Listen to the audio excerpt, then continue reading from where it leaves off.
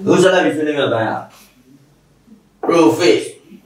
1နဲ့ prophase 2ဆိုတဲ့အပိုင်းနဲ့ဖြစ်ပါအဲ့တော့ prophase 1မှာ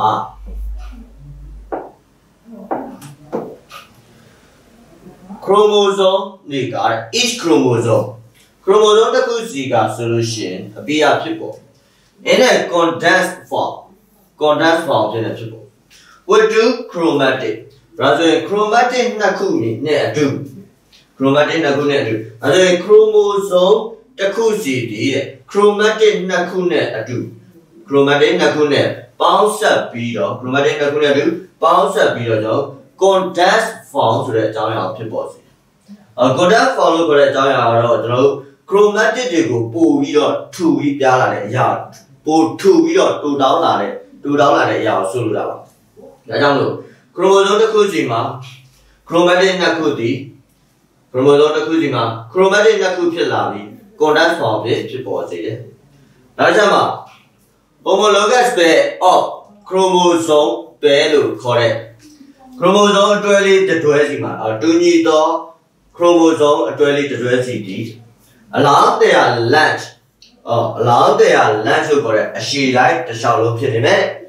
which ၎င်းလာတဲ့ is called synapse ဒါဆိုရင် synapse လို့ခေါ်တဲ့ chromosome တူညီသော homologous pair of chromosome pair လို့ခေါ်တော့တူညီသော chromosome pair လေးအစုံတွေကတဲ့အလောင်းတရား length သူတို့ရဲ့အလျားလိုက်အရှည်တစ်လျှောက်လုံးဖြစ်နေမယ်သူတို့ရဲ့အရှည်တစ်လျှောက်လုံးမှာတွဲနေမယ်လို့ဆိုလိုတာဒါကြောင့် crossing over ဖြတ်ကျော်စေတယ်။ဒါဆိုဖြတ်ကျော်မှုတွေအကဖြစ်သွားတယ် between non sister chromatic အော်ညီမမဟုတ်တော့ chromatic လေးတွေရဲ့ဂျားထဲမှာတဲ့ chromatic လေးရဲ့ဂျားထဲမှာ crossing over တွေကိုဖြစ်ပေါ်စေခြင်းပဲဖြစ်တယ်။အော်တော့ပြောချင်တာကဖြတ်ကျော်ခြင်းလို့ခေါ်တဲ့ crossing over တွေကဆိုလို့ရှိရင် over ဖြစ်ခြင်းอ่ะဆိုလို့ရှိရင်ညီမမဟုတ်တော့ chromatic တွေရဲ့ဂျားမှာဖြစ်ပေါ်စေခြင်းပဲဖြစ်ပါတယ်။ဒါကတော့ prophase 1ရဲ့အဆင့်လေးပါအဲ prophase 1ရဲ့အဆင့်မှာကြည့်မယ်ဆိုရင် prophase တွေမှာဆိုလို့ရှိရင်တဲ့ကျွန်တော်တို့ chromosome တွေဟာပို့ပြီးတော့ထူထောင်းလာပို့ပြီးတော့ကျွန်တော်တို့တစ်ခုနဲ့တစ်ခုပို့ပြီးတော့ထူပြီးတော့ထူပြီးတော့နော်ပို့ပြီးတူတောင်းလာတာကိုလည်းသတိထားမိလေအဲလို chromosome တစ်ခုစီမှာဆိုလို့ရှိရင်လည်းပဲကျွန်တော်တို့ chromatic ကလည်း chromosome တစ်ခုစီမှာဆိုရင်လည်းပဲကျွန်တော်တို့ chromatic ကလည်းကျွန်တော်နှစ်ခုပါတာကိုသတိထားမိလေနှစ်ခုပါတာကိုသတိထားမယ် ပြီးတော့ chromosome တွေကလည်းဘာဖြစ်လာမလဲဆိုတော့ထူပြီးတော့တူတောင်းလာမယ် chromatic ကလည်းနှစ်ခုပါလာကိုဒီထားရမယ်အဲ့ဒီ chromosome နှစ်ခုကလည်းပဲဘေးတိုင်းရှင်တွဲလာတာကိုတွေ့ရဘေးတိုင်းရှင်တွဲလာတွေ့ရမယ်အဲ့လိုဘေးတိုင်းရှင်တွဲလာတဲ့အတွက်ကြောင့်ဘာဖြစ်လာလဲဆိုလို့ရှိရင် chromatic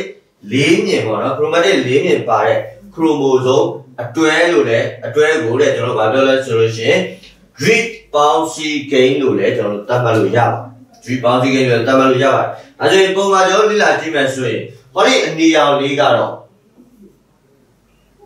ဒီအနီရောင်လေးအဲ့ဒီအနီရောင်လေးဒီကျွန်တော်ဗာပြောတာလေ chromatic နှစ်မြင်ပဲဖြစ်ပါတယ် chromatic နှစ်မြင်ပူးနေတဲ့အရာလေးပဲဖြစ်ပါတယ်အဲ့တော့အပြာရောင်နှစ်မြင်ကတော့ကျွန်တော်တို့အပြာရောင်မြင်လေးကတော့ကျွန်တော်ဗာလေးလဲဆိုလို့ရှိရင်ကျွန်တော်တို့အပြာရောင်နှစ်မြင်ကတော့ကျွန်တော်တို့ပြောကြအပြာရောင်နှစ်မြင်ကတော့ပူးတွဲနေထိုင်နေကြ ဘူတွဲနေထိုင်ရဲ့အဲတခုနဲ့လူတွဲဆက်တဲ့နေရာတွေမှာကြည့်မယ်ဆိုလို့ရှိရင်တော့ကျွန်တော်ဘာလို့ခေါ်လဲဆိုတော့ chiasma လို့ chiasmata လို့ခေါ်ဆိုအဲတခုနဲ့တခုဘူကတ်နေခြင်းကတော့ကျွန်တော် chiasma chiasma အများကြီးနဲ့သုံးမယ်ဆိုလို့ရှိရင်ကျွန်တော် chiasmata လို့အများကြီးနဲ့သုံးခြင်းပဲဖြစ်ပါတယ်အဲဆိုရင်အပြာရောင် chromatic အနီရောင်နဲ့အပြာရောင် chromatic နဲ့အနီရောင် chromatic ထိတွေ့ ပြာရောင် chromatic နဲ့နီယာ chromatic တို့ဟာထိတွေ့နေကြအဲ့လိုထိတွေ့နေလည်းရှိရဲ့ပြီးတော့တက်ချီတွေကဆိုလို့ရှိရင် chromatic ထိပ်ဖြားမှာ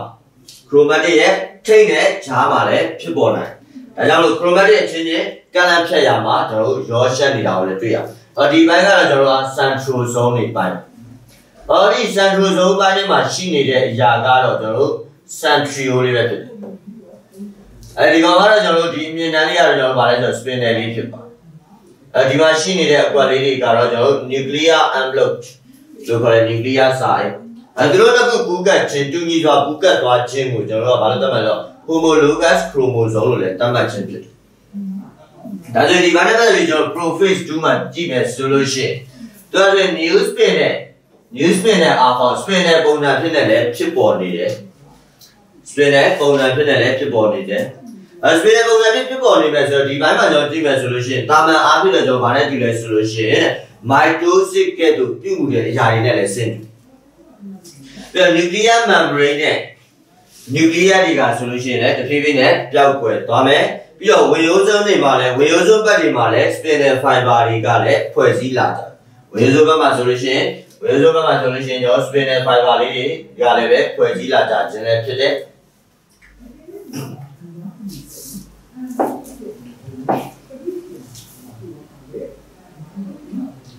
နောက်တစ်ချက်မှာကျွန်တော်တို့ metaphase 2 metaphase 1ပေါ့နော် metaphase 1မှာကျွန်တော်ပြန်ကြည့်မယ်ဆိုရင် metaphase 1နဲ့2မှာဆက်လေးလာမယ်ဆိုရင် the spin နဲ့ spinal လေးတွေက spinal လေးရဲ့ and homologous pair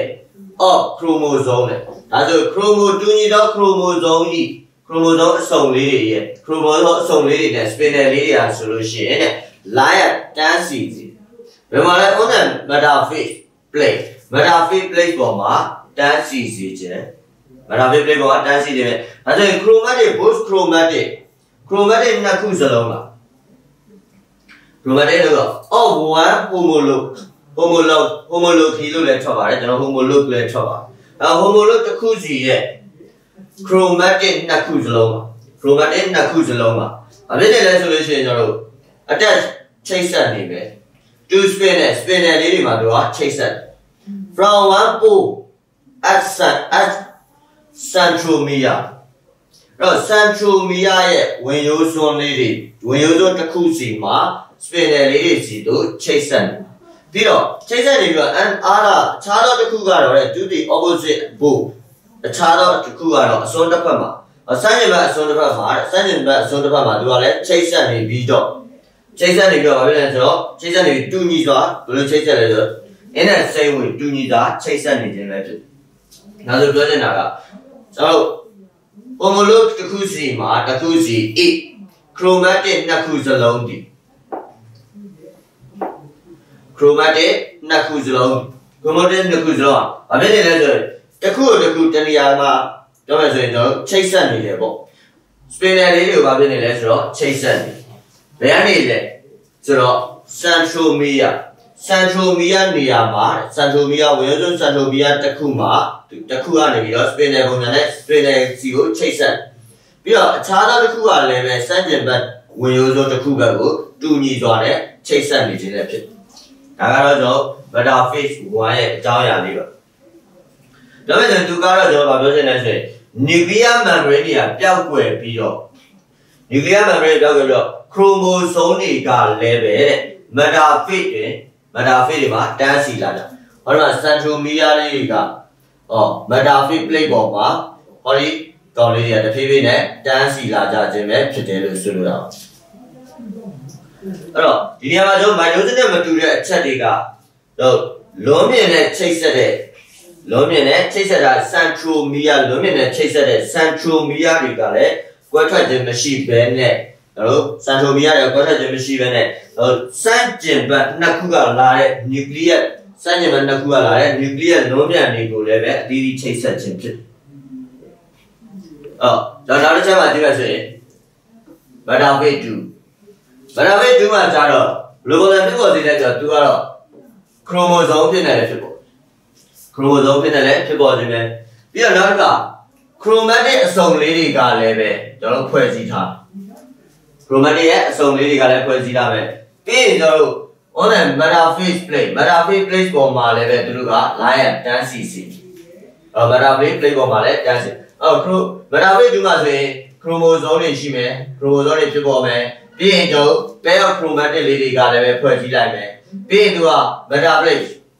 sorry metaphase plate ပေါ်မှာလည်းပဲ line သူကတန်းစီလိုက်ခြင်းလည်းဖြစ်တယ်လို့ဆိုလိုတာပါဒါဆို chromosome တွေရဲ့ chromosome တွေကကြည့်မယ်ဆိုရင် cell ရဲ့အလယ်မှာ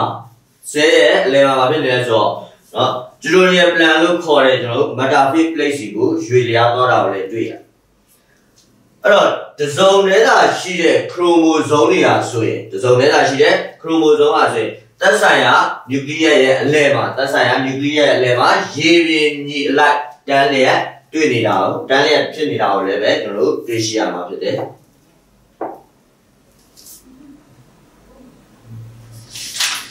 နောက်က anaphase 1 anaphase ကိုခေါ်တဲ့ကဏ္ဍနှောင်းပေါ့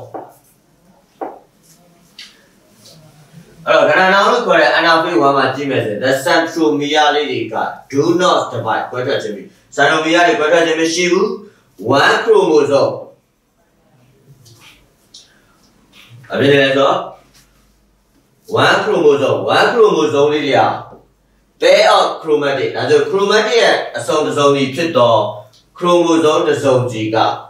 from each homologous pair တူညီတဲ့ homologous pair တစ်ခုစီကနေ move ရွေလျားစီ to each အခြားသောတစ်ခုစီကို တစ်ခုစီရွေလျားတဲ့ဘယ်တစ်ခုလဲဆိုတော့ of the cell cell ရဲ့အခြားသောတစ်ခုစီတို့ move to move to each move to each end အော်ဆဲရဲ့အခြားသောအစွန်းတစ်ဖက်စီသို့ရွေလျားစေခြင်းပဲဖြစ်ပါအဲ့တော့ဒီဘက်မှာဆန်နိုမီယာတွေက do not divide ကွဲထွက်ခြင်းမရှိဘူးပြီးတော့ chromatic အစုံလို့ခေါ်တဲ့ chromosome တစ်ခုစီကလည်းပဲ homologous ပဲတစ်ခုမှ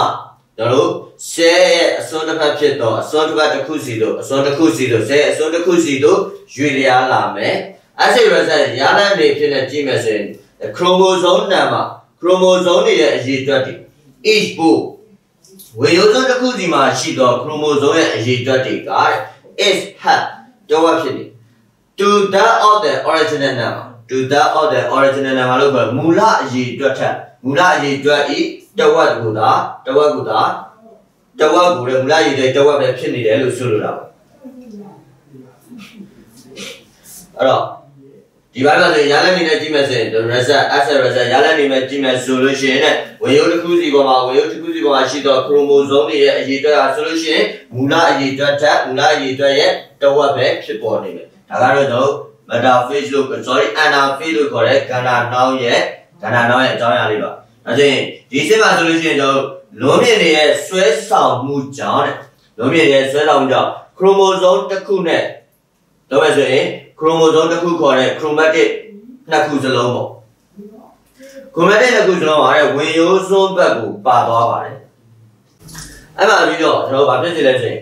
ဘာကြောင့်လဲဆိုတော့ chromosome ရ chromosome ရဲ့ centromere မကွဲခြင်းကြောင့်ပဲဖြစ်တယ်ဘာပဲဆိုရင် ဝင်ရိုးစွန်းရောက်သွားသော chromosome တွေဟာဖလှယ်ထားတဲ့ chromosome များစွာကဒါထူးခြားချက်လည်းဖြစ်တယ်လို့ဆိုလိုတာပါကျွန်တော်ဒါဆိုရင်ပုံမှန်လေးလာကြည့်မယ်ဆိုလို့ရှိရင်မ sister chromosome အော်သက်ဆိုင်ရာဘက်သို့ပုံမှန်ကြည့်မယ်ဆိုရင်ကျွန်တော်သက်ဆိုင်ရာဘက်သို့ရွေလျားသွားတဲ့ chromosome တွေမှာတဲ့တစ်ခုနဲ့တစ်ခုသက်ဆိုင်ရာဘက်သို့ရွေလျားသွားတဲ့ chromosome တွေဟာတစ်ခုနဲ့တစ်ခုကျွန်တော်မတူညီကြ တစ်ခုနဲ့တစ်ခုမတူတာကိုကျွန်တော်သတိပြုမိလိမ့်မယ်အဲ့တော့ဝေးဆဲထဲမှာကြည့်မယ်ဆိုလို့ရှိရင် chromosome 6ခု chromosome 6ခုဆိုတော့ကျွန်တော်တို့ chromatic က12ခုပေါ့ chromatic ကတော့12မြင်ပေါ့အဲ့ရှိကိုရှိရာကနေတစ်ဖက်ဆုံးကိုရောက်သွားတဲ့အခါမှာ chromosome က3ခု chromosome က3ခု chromatic အမြင်ကတော့6မြင်ပဲဖြစ်ဟုတ်6မြင်ပဲရှိတဲ့ကြောင့်မူလရဲ့ မူလရဲ့တဝက်သာရှိတဲ့ကြောင့် chromosome ရဲ့ရလက်ကိုသတိပြုခြင်းပဲဖြစ်ပါတယ်ဒါဆိုနောက်တစ်ဆင့်မှာကျွန်တော်တို့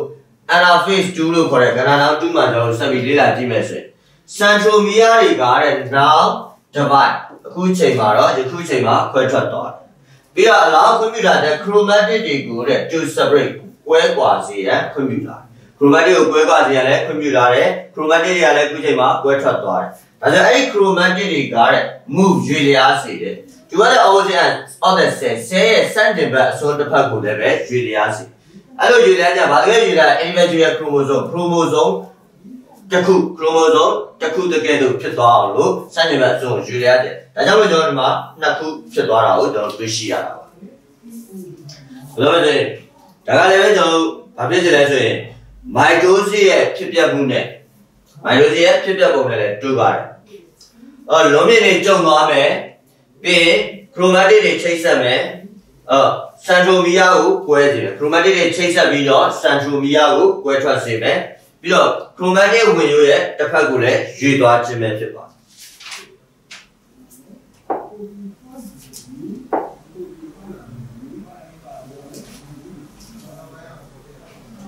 နောက်တစ်ခုက telophase 1ကဏ္ဍအဆုံးပိုင်း telophase 1နဲ့ telophase 2မှာ the nuclear membrane နဲ့ nuclear amoeba တွေကို reform ပြန်လည်ဖွဲ့စည်း and the cell begin to divide begin to divide အော် cell ကွဲခြင်း cell တွေကိုလည်းစတင်ကွဲထွက်လာစေ instance အချို့ cell တွေဖြစ်တဲ့အချို့ cell တွေမှာကြည့်မယ်ဆိုရင် cytokinesis လို့ခေါ်တဲ့ chromosome ကွဲထွက်ခြင်းတွေကလည်းပဲတဲ့များသောအားဖြင့်ကျွန်တော်တပြိုင်နက်တည်းဖြစ်ပေါ်စေတပြိုင်နက်တည်းဖြစ်ပေါ်စေမယ် ပြီးတော့ဘာလဲ binary formation of binary formation cleavage binary formation cleavage faro cleavage faro ဤဖြစ်ပေါ်ခြင်းအားဖြင့် kinetic cytos kinetic တွေကလည်းပဲများသောအားဖြင့်တပြိုင်နက်တည်းဖြစ်ပေါ်စေနောက်က with ဒါဆိုရင်ဘယ်လိုဖြစ်ပေါ်စေရလဲဆိုတော့ telophase မှာဖြစ်ပေါ်စေခြင်းပဲဖြစ်ပါအဲ့တော့ telophase မှာဖြစ်ပေါ်စေခြင်းပဲဖြစ်ပါ အဲ့တော့ကျွန်တော်ဗာဖြစ်လဲဆိုတော့ဇဲချိုပါဆိုရင် cytokinesis chromosome တွေကွဲထွက်ခြင်းပဲညာတော့အဖြစ်တော့ orga ညာတော့အဖြစ် orga ဖြစ်ပွားတယ်ဘာဖြစ်စေလဲဆိုတော့ဘာဖြစ်စေလဲဆိုလို့ရှိရင်ကျွန်တော်တို့ simultaneously ဒါပဲဆိုရင် simultaneously လို့ခေါ်တဲ့တပြိုင်နက်တည်းဖြစ်ပေါ်စေ with telophase telophase အဆင့်1မှာ ပြီးတော့ no chromosome တွေက chromosome တွေက replication ပုံလူပွားတယ်လို့တဲ့အတွက်ပုံလူမပွားနိုင်တော့အောက်ကပြောက between meiosis 1နဲ့ meiosis 2မှာ meiosis 1နဲ့ meiosis 2ရဲ့ဂျားထဲမှာတဲ့ chromosome ရဲ့ပုံတူကူးမှုတွေကလည်းပဲဖြစ်ပွားခြင်းမရှိတော့ဘူးလို့ဆိုလိုတာပါဒါဆိုနောက်တစ်ချက်မှကျွန်တော်ကြည့်မယ်ဆိုရင် telophase 2မှာ nuclear amylose nuclear amylose nuclear site တွေက reform ပြန်လည်ဖွဲ့စည်းမယ် chromosome တွေကလည်းပဲ begin condensing ဟောပြီးပါ condensing ဖြစ်စတင်ဖြစ်ပေါ်လာပြီးတော့ cytokinesis တွေကလည်းပဲ orga ဖြစ်ပေါ်လာ cytokinesis တွေကလည်းပဲဖြစ်ပေါ်လာ chromosome ကွဲတဲ့ကြောင့်လည်းဖြစ်ပေါ်စေမယ်ပြီးတော့အဲ့လိုဖြစ်ပေါ်တဲ့အချိန်မှာ photoda cell အဲဒါမီ cell လေးခုဒါဆို photoda cell လေးမှာကြည့်မယ်ဆိုရင် each တစ်ခုစီမှာ photoda cell တွေက cell တွေမှာတစ်ခုစီတည်တဲ့ which has that chromosome where the chromosome number chromosome ရဲ့အရေးအတွက်ကို of the original developed cell of the and original developed cell လို့ခေါ်တဲ့ developed cell လို့ခေါ်ကြတော့ Dragon cell Dragon cell ရဲ့ရရှိတော့ Dragon cell ရဲ့ရရှိတော့ chromosome ရဲ့အရေးအတွက်ကလည်းတဝက်တာလည်းဖြစ်ပေါ်စေတဝက်တာလည်းဖြစ်ပေါ်စေမယ်ပြီးတော့ကျွန်တော်တို့ Pavlov daughter cell forming Pavlov daughter cell forming လို့ခေါ်တဲ့ဧကဂုံသားသမီး cell တွေဖြစ်နေလေဖြစ်ပေါ်စေခြင်းပဲဖြစ်ပါ ဒါတော့ telophase ကဏ္ဍဆုံးရဲ့1နဲ့2နဲ့နိုင်ရှင်ချက်အဆင့်လေးပါဖြစ်ပေါ်ခြင်းအဆင့်လေးပါ